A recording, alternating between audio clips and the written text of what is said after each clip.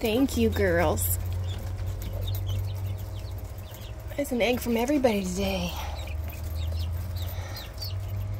Good job.